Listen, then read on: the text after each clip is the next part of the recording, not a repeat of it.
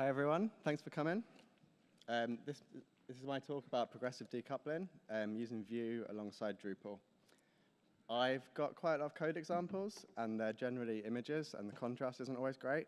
So if you'd like to follow along on your own screens, um, bit.ly forward slash dc hyphen vue hyphen prog will bring up the slides, and then there's like JS fiddle links, and you can adjust the contrast and stuff. So, my name is Phil Wolstenholme. I'm a front-end developer at CTI Digital in Manchester in the United Kingdom. You can find me on Drupal.org as Phil-Wolstenholme and on Twitter as PhilW underscore.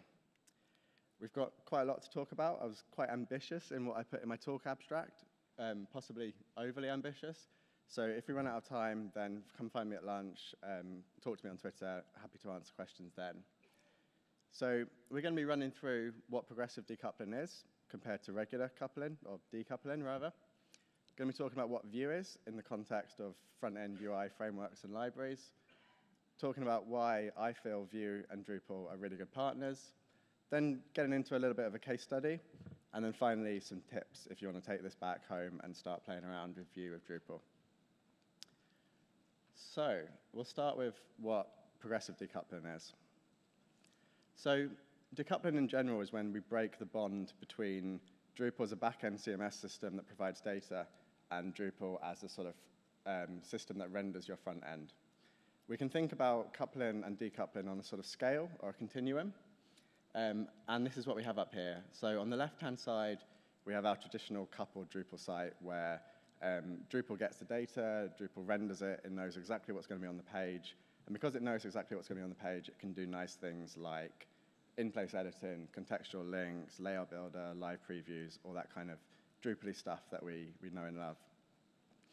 A fully decoupled site is on the opposite side of the spectrum, so on the right-hand side, and that's where Drupal is purely sort of an API, a, a data repository, a, a content hub, um, and use a framework or library like Vue or Angular or React to handle the front-end routing, um, content changes, UI stuff, all through client-side JavaScript code.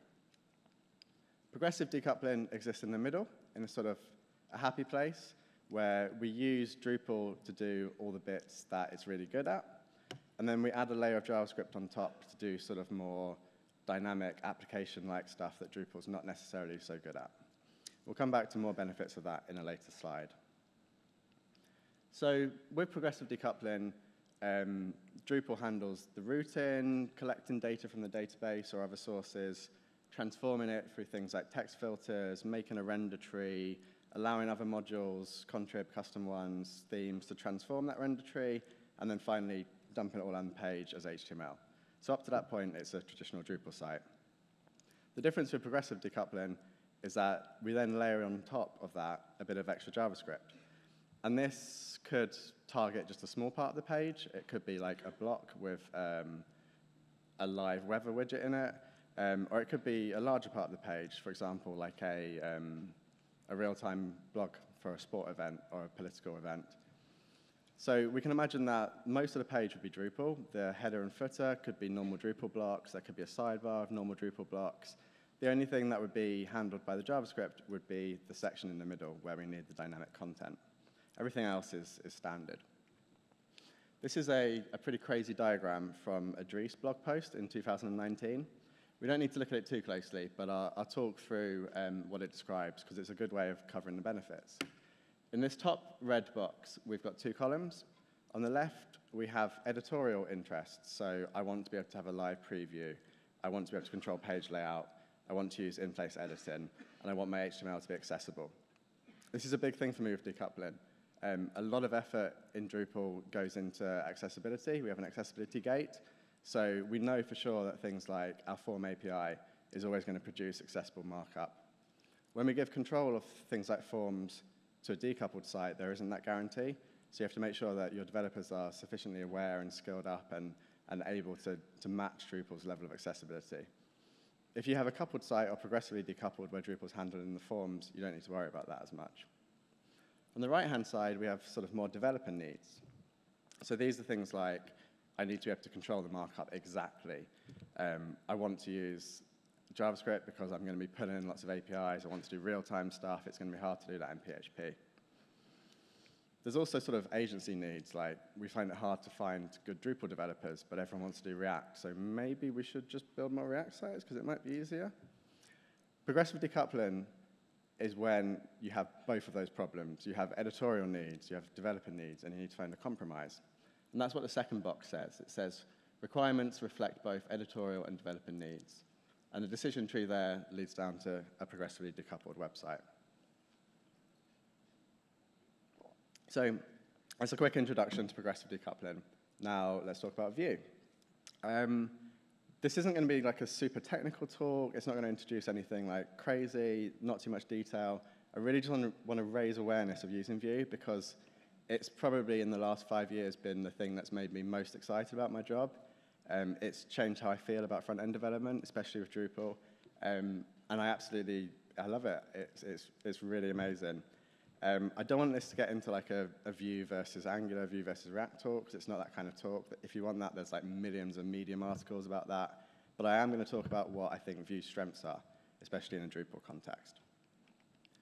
So Vue, Vue.js, pronounced Vue, um, it's an open source UI framework, and it's the sort of from the second generation of these things. So it's not like Ember or Knockout, it's more similar to React.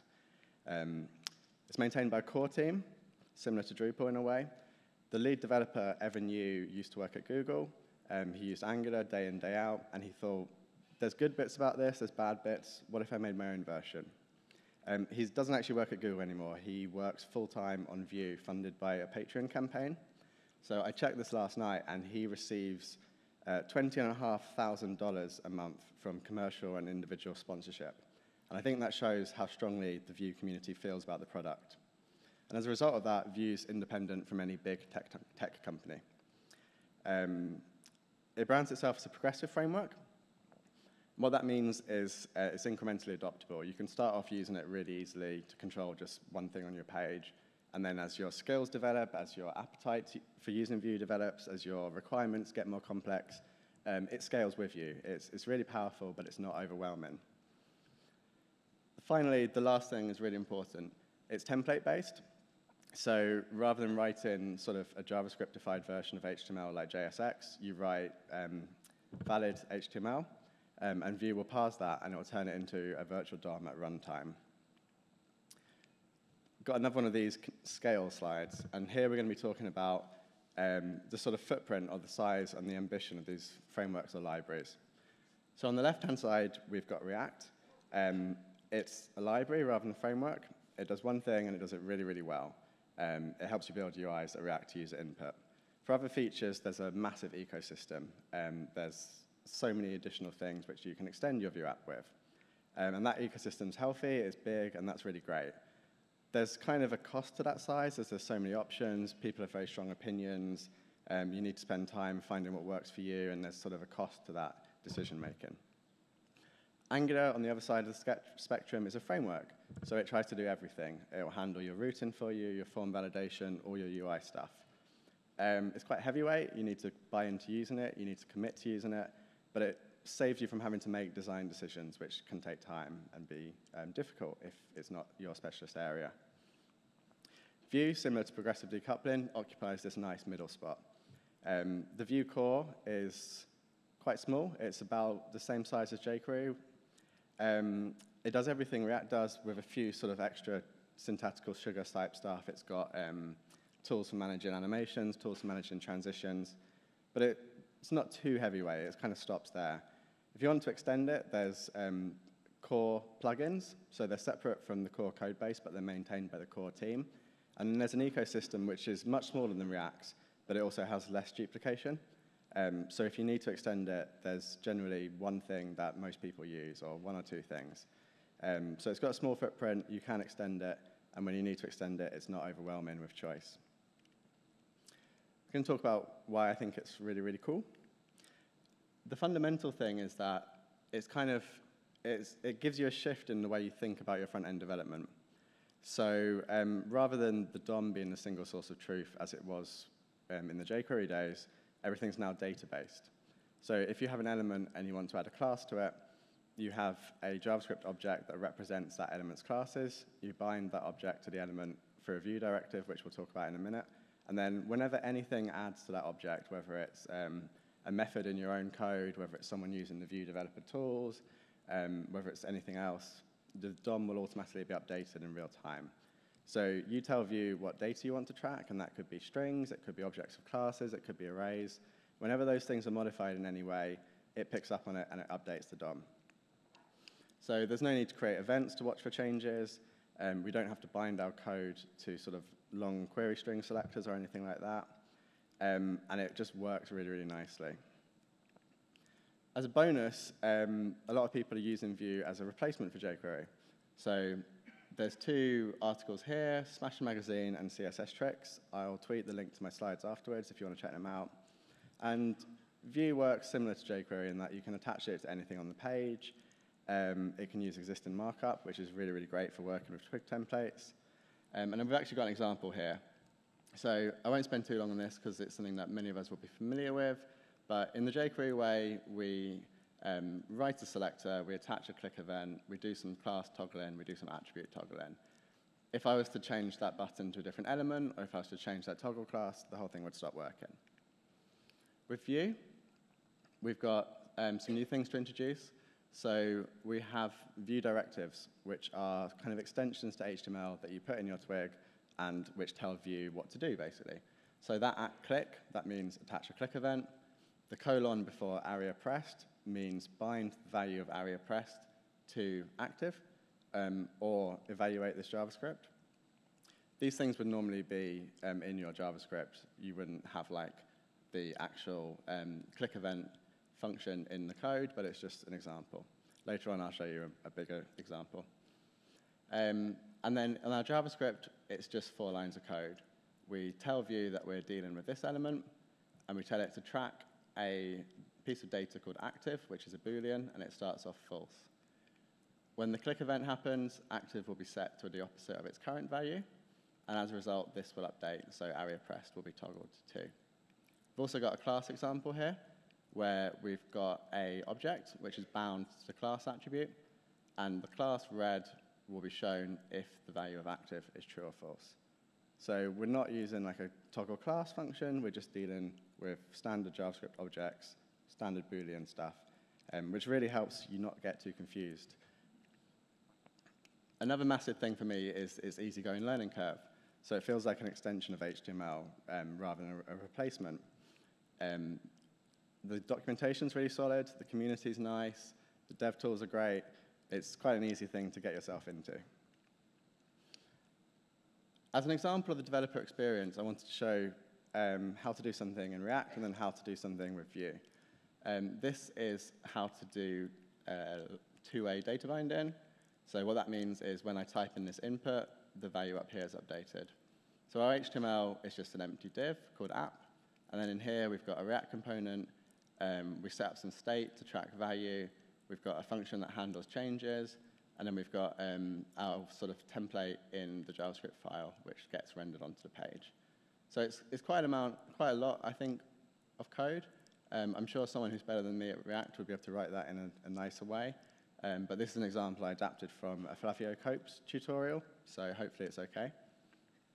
To do the same thing in Vue is that.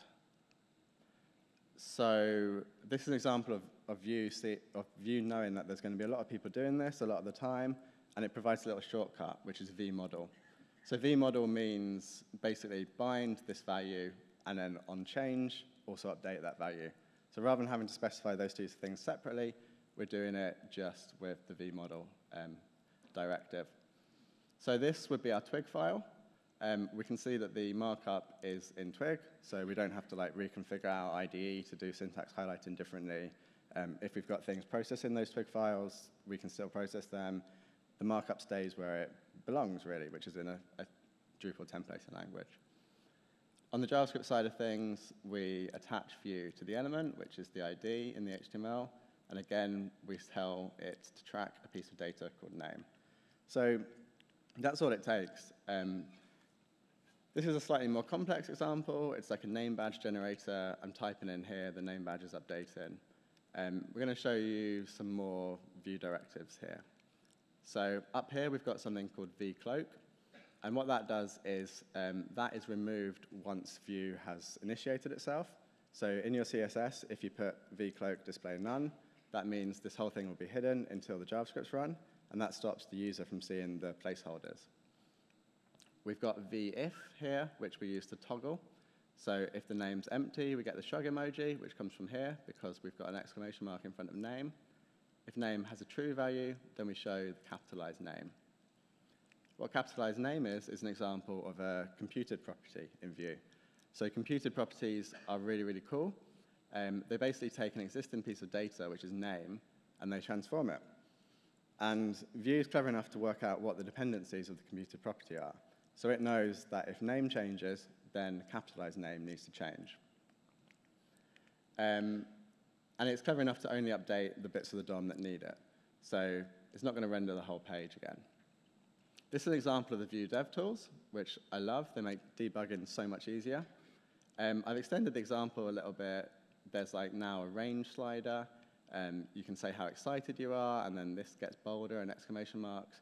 You can see the excitement values increasing up here. You can also see when someone clicks submit, this array, which is currently empty, is going to get a value pushed into it.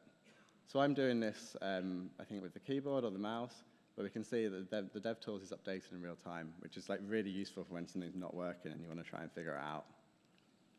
Important thing to note is that in both those examples, there was no build process. We weren't having to run npm watch or anything. Um, you, can, you can use Vue just by including it as a script tag. If you've got a massive application, you're probably not going to want to do that. You'll want to use Webpack or whatever. But you can start off just doing it like that. And that's what I meant earlier about it being really easy to dip your toes into it. So for me, Vue feels really complementary with Drupal. Um, they both have a focus on doing things in markup. With Drupal 8, we started doing a lot more of Twig. With Vue, we keep our directives alongside our markup, so there's less context shifting between files. And there's an argument there about separation of concerns, but for me, I'd rather spend less time switching between files and trying to remember what I'm doing. Um, perhaps that's a personal opinion. They both have a small core functionality, but lots of plugins. They're both sort of independent open source projects. Um, and with the case of Vue, it's easy to add to existing sites. So the project I'm going to be talking about in a moment, we built it as a standard Drupal site until we realized the Drupal Ajax stuff wasn't going to cut it, and we had to use Vue. So let's talk about that now. The site we were working on was a university website, so obviously it's, one of its core functions was to promote the programs, the courses, the degrees that the university offers. For especially their undergraduate degrees, they had a lot of what they called variants. So if I wanted to do um, a course in like airline management, I could do it full-time, I could do it part-time, I could do it with a foundation year, I could do it with an industrial placement year, I could start in September, I could start maybe in the calendar year in January. And all these variants have different content because one with a placement year will take longer to complete, it might cost a bit more. And until the redevelopment of their website, each of these course variants was its own node. So there was a lot of shared content between the nodes, but also a few differences. The university was hit with duplicate content penalties from an SEO point of view, and they also had a maintenance overhead. Their CMS users were having to spend a lot of time updating the same things in different places. There was even a bit of a, um, a concern about regulations. So the courses have content which has to be there by law, and it has to be update, updated rather. Um, and they were concerned that having the different nodes would mean that they might not always have the right content in the right place.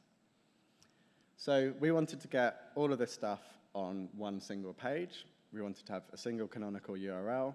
Um, we wanted to have all the Google juice on focus on that one page rather than distributed. We also wanted a much better user experience. Um, the prospective students were frustrated about switching between all these different pages, trying to work out what was different, which one they should be looking at. So we wanted a, a more app-like user experience. We wanted content to update automatically on the page, for changes to be highlighted, um, and for all of that to happen sort of instantaneously. So this is the, the Drupal side of the solution. Um, nothing we did here was particularly complex, but we had a really good end result, and I think that is one of the things that encouraged me to do this talk. Um, we built something that feels advanced, but when you look at the code, isn't actually that complex. And as a result, we've had very, very few like big issues with it, very few big bugs.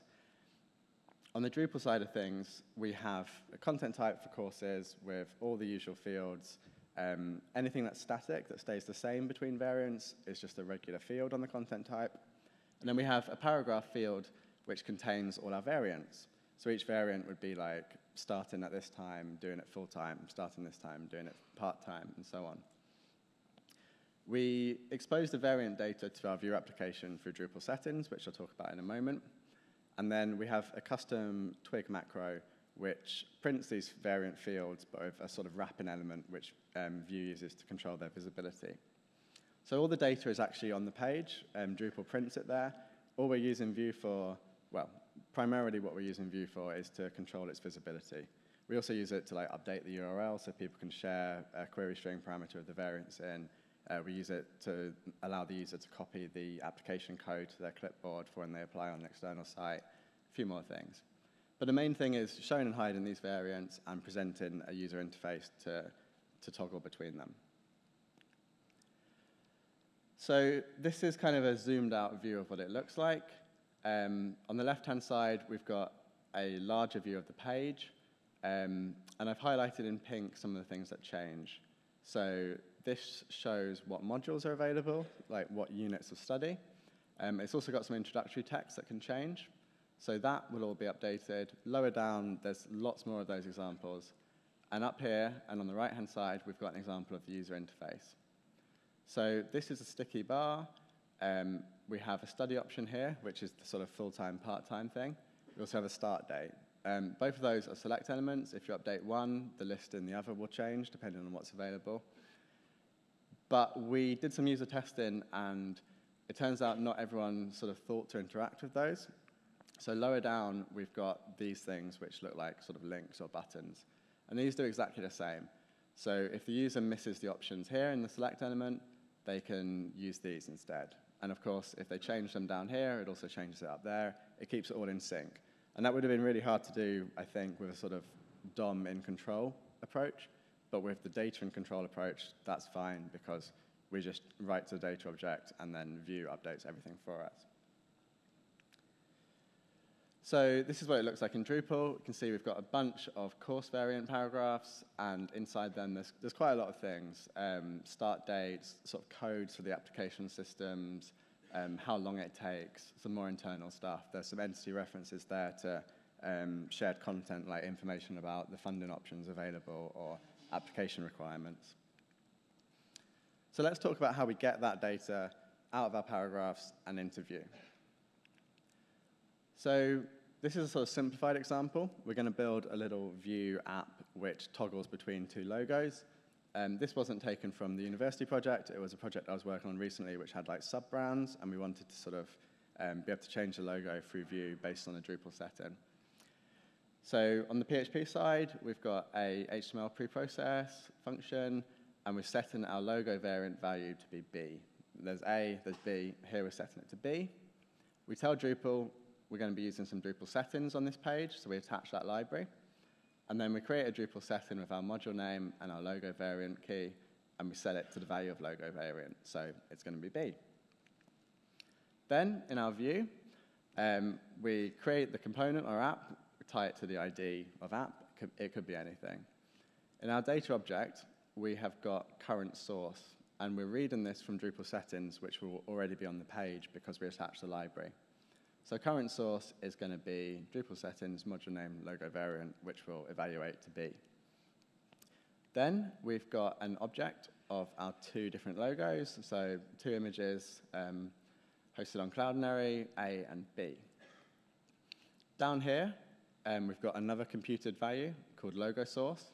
And what logo source is going to do is it's going to return from the array the key which matches this current source. So this current source, Drupal setting, will be B. It will pick this out of the object. And then in our markup, we've put a colon in front of the source attribute, which means we want to bind this to a Vue um, piece of data. And we're binding it to logo source, which we had on the, um, the previous slide. So let's talk about how we used this. Um, we had some things which are like simple strings.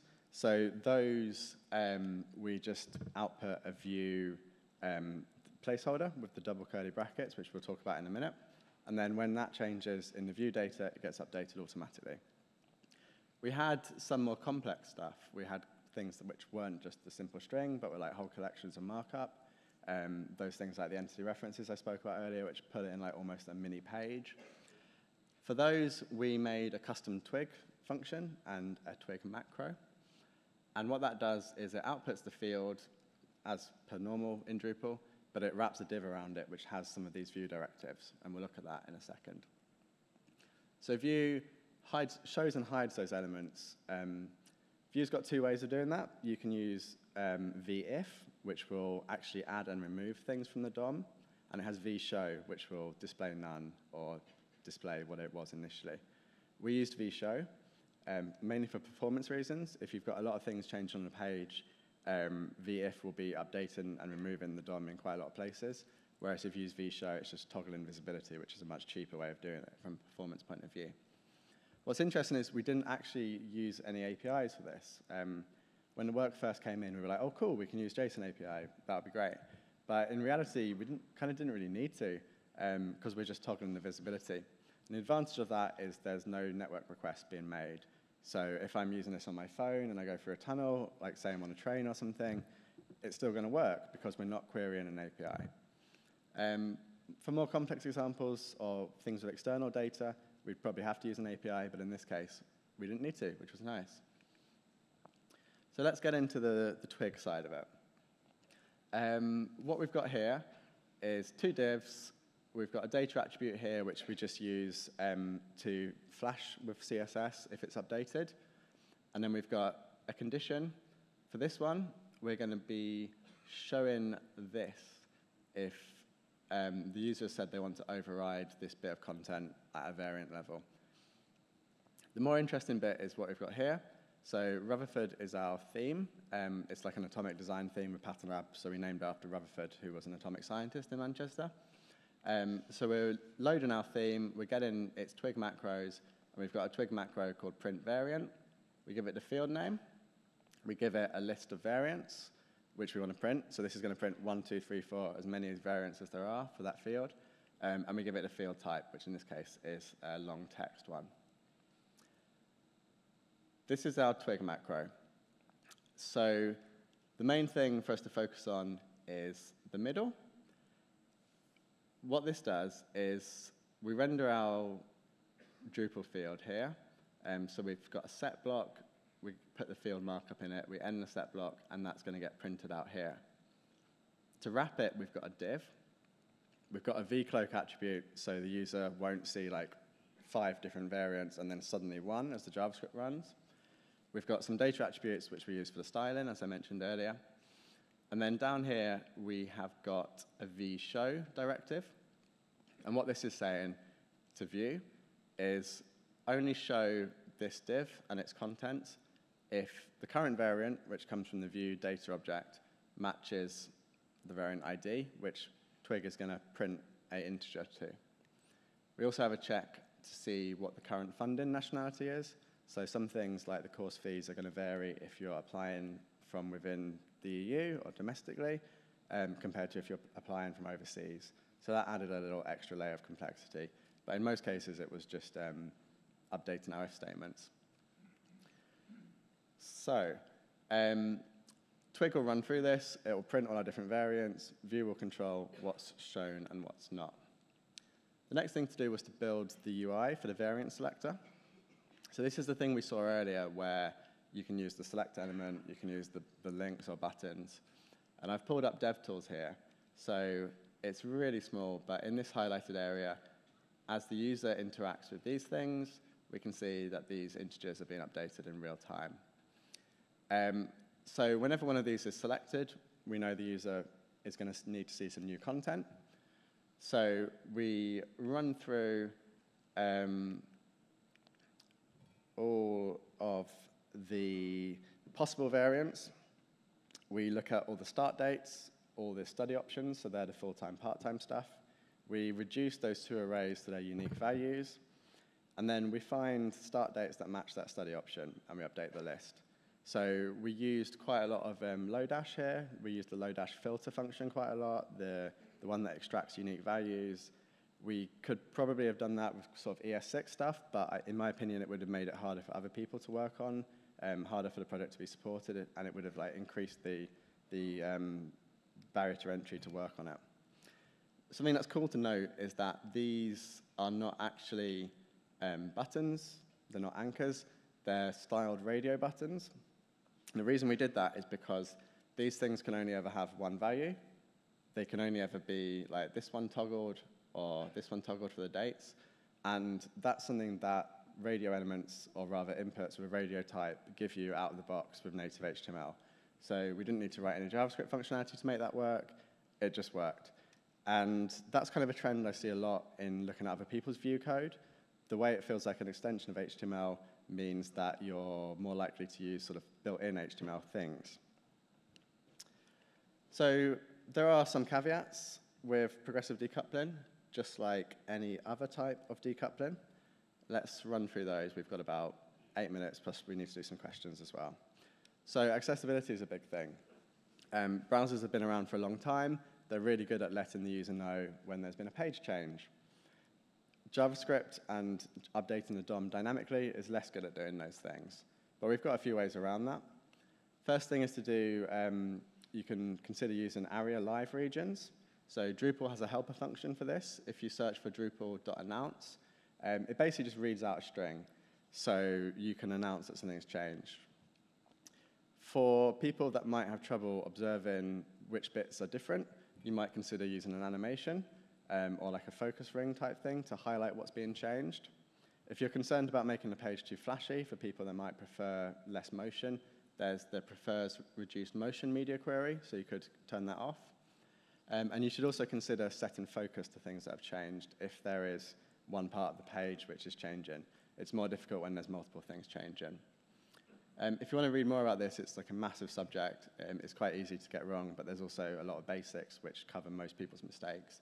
And the accessibility project A11Y, it's a numeronym, um, accessibility project A11Y project.com has a checklist and a resources page, and I'll tweet those links later on. The other thing to watch out for is SEO.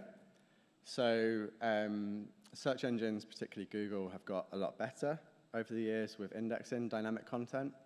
The way Google does it at the moment, to the best of my knowledge, is with two waves. So it will initially index your site without JavaScript enabled. It will look at your sort of plain HTML content. And then later on, it will do a second wave. And that's when it will run JavaScript. So it's best to serve your sort of default state as HTML. So in our case, the paragraph, which is at the top of that multi-value field, paragraphs field, that's always shown. Um, so when Google runs through the page the first time, that's what will get indexed. When it runs through the second time, it will realize there's a bit more interactivity going on, and it will, it will handle that. If you want to see how your site looks from Google's point of view, um, use their Fetch as Google tool. Finally, um, we've got some tips and tricks for using Drupal and Vue. So these are things that I, I learned the hard way. The key thing with Twig is that they have the same delimiters. So if you print a Vue variable and if you print a Twig variable, they're both wrapped in those double curly brackets. So we need to get around that, otherwise you spend ages refreshing your page wondering why there's nothing on it. One way to do that is with Twig's verbatim filter. So what verbatim in a single curly bracket and a um, percentage sign means is ignore everything until I end this verbatim tag. Um, yeah, it's not a filter, is it? Um, but that's really good because then Twig won't worry about those double curly brackets and they'll get passed to the browser, which means Vue will be able to deal with them. A second way around that is to not use the double curly brackets at all. So if you've got quite a simple situation where we have this span um, and we want to put some text in it, we can use the v-text directive. So what that means is update the inner text of this HTML element to the value of leader type in this case. If you want to get really creative, you can also change the Vue delimiters. Um, you can set something on the window object which does that, or you can do it per app. So you could have it as like da double dashes or triple underscores or whatever. But then that's going to make it harder for people that are new to your project that have to figure out what the, what the like special delimiters are. So those, those two are my favorite ways of doing it. Next tip is switching between the minified version of Vue, which is great for production but doesn't have the dev tools. The way we do that is we have a Vue Drupal library for the minified version. Then we have a library alter hook. We check to see whether JavaScript preprocessing is turned on at a Drupal level. Um, and if it isn't, then we switch out the minified version for the unminified version, which gives us access to DevTools um, and sort of much nicer error reporting. Final tip, um, Vue tries to be helpful and it strips out HTML comments from Vue templates. If your Vue template is also your Twig template, that means it's going to get rid of your nice Drupal theme debugging comments, which tell you what templates are being used. To fix that, just add this comments true um, line to your, to your Vue files, and then it will leave the Drupal template um, comments as they are. So, um, in conclusion, I love working with Vue. I think it's really simple, but it's also powerful. And I think it's a really good fit with Drupal, particularly because of how you can use it with existing markup and in Twig files. and that's it. Thank you very much.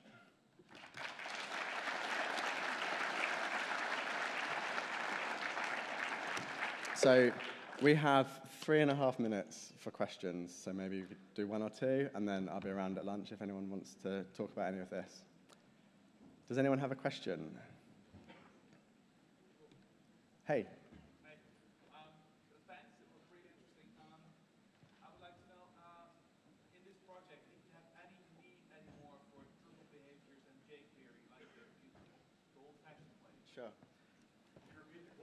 Yeah, definitely. So the question was, um, we're using Vue on this project. Do we still use jQuery? Do we use Drupal behaviors? And the answer is yes, absolutely. Um, maybe if I was a purist, if my team was a purist, we wouldn't be doing that. But the reality is we've got um, plugins on the page, like our tabs plugin. Um, we need to control that, and that's done through jQuery events. So we use jQuery there. Um, I also ran into a problem where our lazy load-in script, lazysizes, um, wasn't detecting some of Vue's changes, so we used a little bit of quite dirty jQuery there to fix that. Um, we use Drupal behaviors for the content on the page, which isn't handled by Vue. Um, we also call attach behaviors every time um, Vue updates certain parts of the pages so that our Drupal behaviors that handle things like the tabs run. Um, so yeah, the, the two can coexist. Um, we haven't really had any problems with integration there. Um, there haven't been problems of conflict. So it's kind of a mixed code base at the moment, but we're, we're using what feels like the right tool for the right job. If there's a lot of really heavy DOM stuff um, that can't be done with this database approach, then we use jQuery because that's kind of what it's made for, and it's, it's still good at that. You're welcome. Um, anyone else? Okay, at the back in red. Yeah, I can use the boxes, but I'm really bad at throwing. Yeah, can you run it back? I don't want to ruin like my talk by breaking someone's glasses or something.